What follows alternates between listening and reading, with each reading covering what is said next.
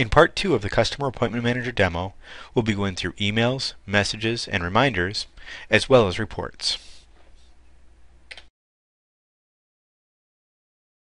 Customer Appointment Manager also gives you the ability to communicate with your customers via email.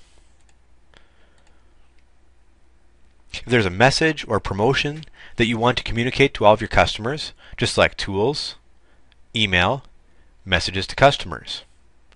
If you want to send appointment reminders, select Tools, Emails, Reminders to Customers. In addition, you can also email employees their daily appointments. Customer Appointment Manager also gives you the ability to create custom letters.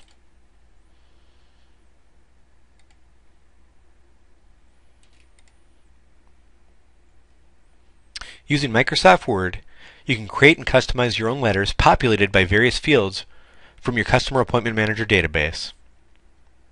You can use this to invite customers to an open house, send out a special promotion, or reach out to customers you haven't heard from in a while. Once you're done creating your letters, you can even create mailing labels.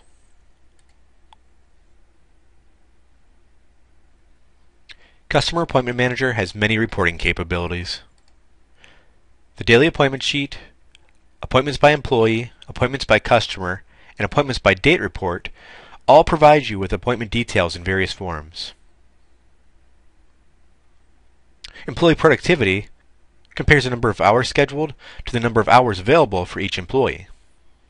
Service Summary will show you how many appointments are being scheduled for each service, and the percentage of appointments and hours for each service.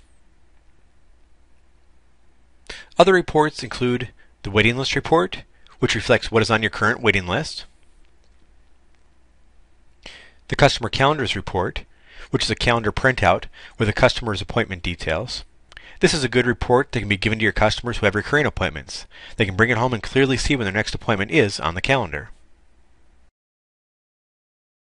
And finally, the customer list report. This report simply gives you a list of all of your customers.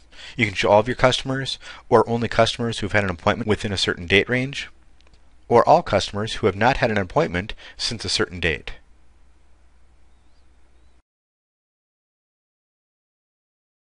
This concludes part two of the Customer Appointment Manager demo.